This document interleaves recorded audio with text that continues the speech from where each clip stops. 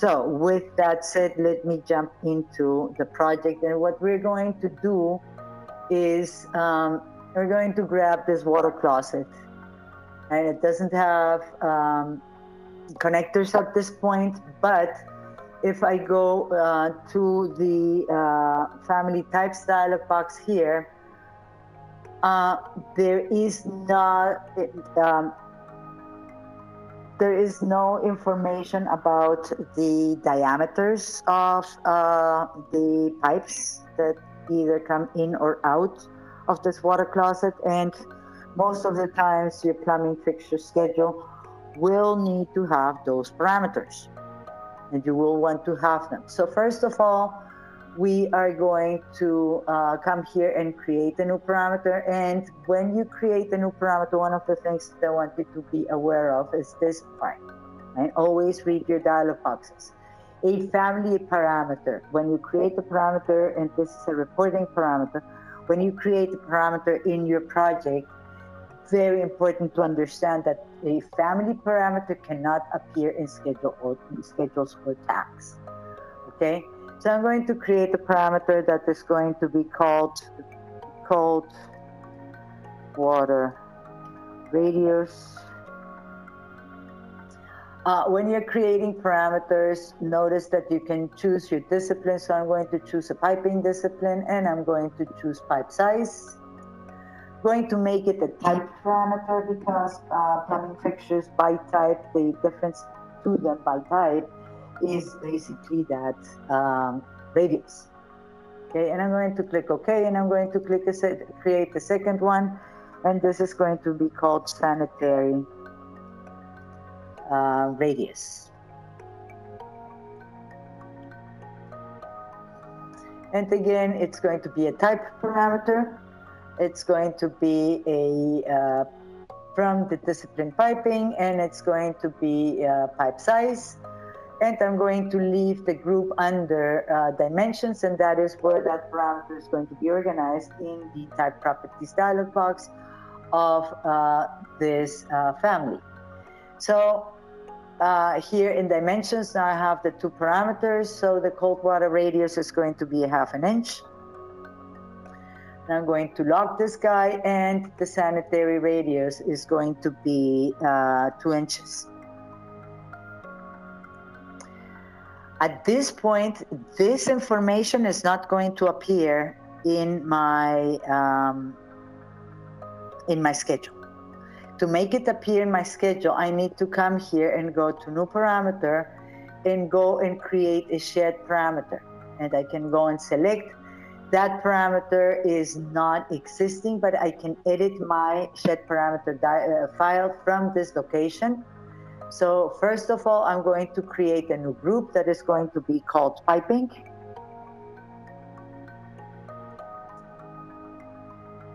Oh, I had that already, sorry. Ah, there we go. I had created that group already. So in that group, in that piping group, I'm going to create my parameter. My first parameter is going to be called uh, cold water diameter. Always be careful how you spell here because if you have a spelling error, it's going to carry through.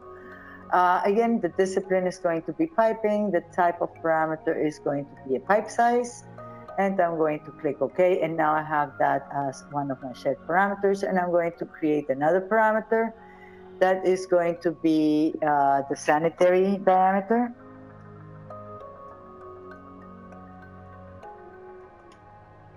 And again, it's going to be a piping and it's going to be again a, uh, it's going to look at a uh, pipe, at the pipe size right? So if I click OK here, now I need to uh, select this parameter and click OK. And now the parameter is in the parameter properties. It's still a type parameter. I'm going to say OK. And then the cold water diameter, I have to link them. But before I link them, I'm going, actually, I'm going to link them right away. So I'm going to say that the diameter is going to be the cold water uh, use times 2 Uh, and uh, yeah, that's working fine. And then I'm going to create my other shared parameter and I'm going to go here and choose from my piping group this, uh, this uh, parameter that it was there already and then I'm going to give it a dimension again through a formula that is going to be sanitary radius times 2 that should work that is all nice and hunky-dory. Uh, the next thing I need to do is connect them to connectors, right? So I'm going to come here to create a connector. In the connector, first of all, I need to define the system of the connector. So this is going to be a cold water connector.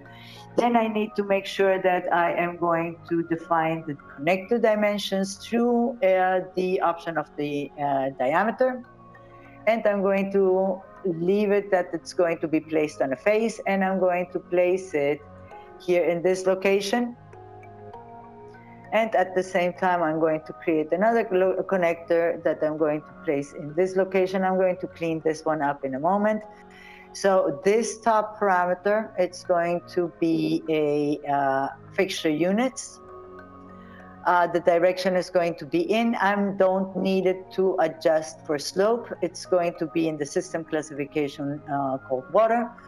I am going to um, link now the connector to the diameter here by using this associate family parameters. This is also the location where you associate uh, parameters that come from a nested family into the host family and I'm going to choose the cold water diameter and immediately it picks up the size that it has to do.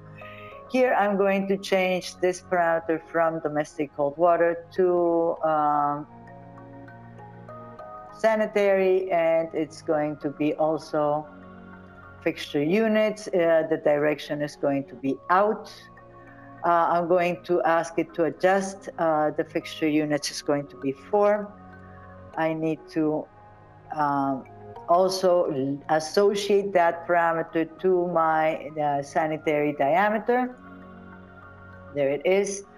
I didn't give this guy fixture units.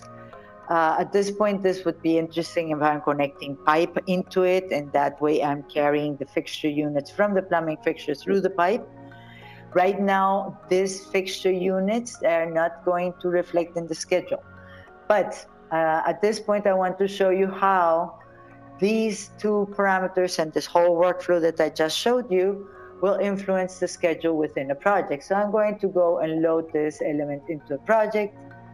I don't need to save it. And I'm going to uh, place a couple of uh, water closets here. And immediately I'm going to go and create a uh, plumbing fixture schedule.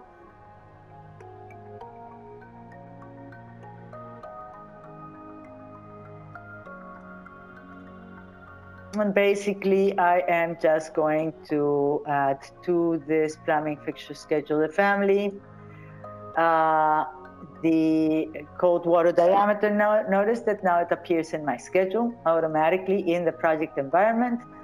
Uh, down here at the bottom, I have my uh, sanitary diameter. This is the button that I was showing you before that allows you to create project parameters from within the schedule itself.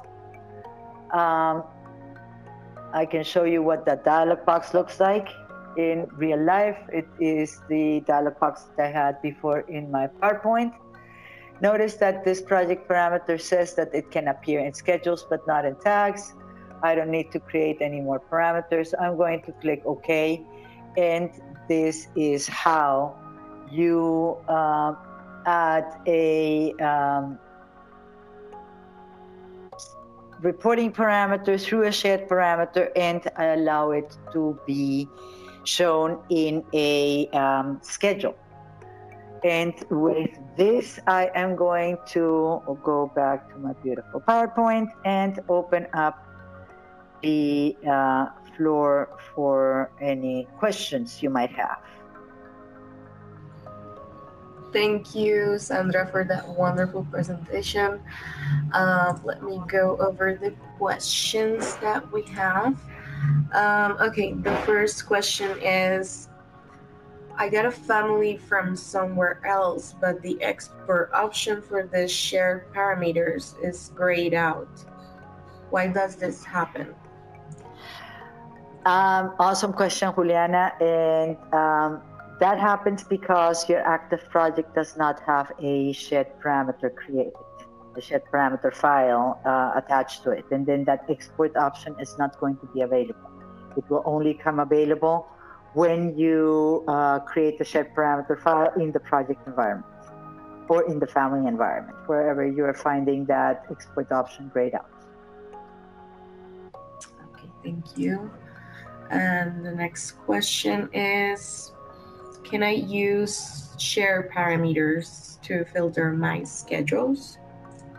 Yes, yes, definitely you can. Um, I have seen it uh, done in companies that I have worked for, where um, it gives um, the ability to um, filter out your schedules when you have a very busy model and keep them better organized. And that way, I mean, uh, especially if you have models that are multidisciplined. Um, and uh, though having uh, shared parameters will allow you to assign to specific categories or to multiple categories will allow you to filter your schedules. Absolutely. Thank you. And okay, as a reminder for everyone, if you want to learn any of these topics in detail, you can always take a custom training with Sandra. And we also offer group classes online. Um, I also wanted to mention our upcoming webinar on August 22nd, official 3D, civil 3D workflows, best practices. And then on August 29th, we'll have AEC collection top tips and tricks for maximizing productivity. And then on September, we will initiate a tech series. Um, this one will be about Revit MicroCAD tools to boost your productivity on September 4. All of these at 1 p.m., just as this one. And if I don't see any more questions, um, here you have our contact information. If you have any questions or inquiries, we will also be sending you a thank you email and